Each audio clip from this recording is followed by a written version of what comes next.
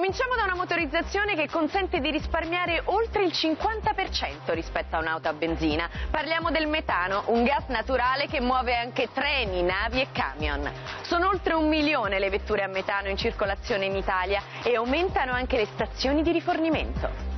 È un gas che non necessita di essere raffinato ed è molto vantaggioso per gli automobilisti, sia per il costo del pieno che consente a una famiglia di risparmiare fino a 1000 euro all'anno rispetto agli altri carburanti, sia per l'impatto per l'ambiente, tanto che è quasi sempre esentato dai blocchi del traffico. Il metano azzera le emissioni di particolato, quindi azzera lo smog meno 97% rispetto alla benzina e al diesel e sostanzialmente dimezza la CO2, quindi fa bene sia alla qualità dell'aria nelle città, lo smog, che al riscaldamento globale riducendo la CO2. È la soluzione più immediata per ridurre l'impatto ambientale e sono tanti gli italiani che hanno convertito la loro auto da benzina a gas. In Snam lo hanno fatto con l'Alfa Romeo Stelvio.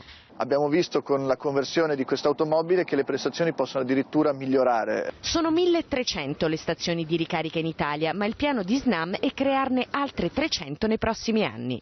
Seat ci punta molto e ha svelato versioni a metano della Leon, della Ibiza e della Arona, che è il primo SUV al mondo a utilizzare questa alimentazione. Spendendo 3,50 euro si possono percorrere fino a 100 km.